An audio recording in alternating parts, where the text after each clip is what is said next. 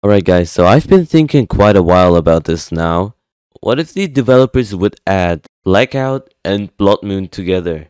Like you can do both at the same time. Wouldn't that be horrifying?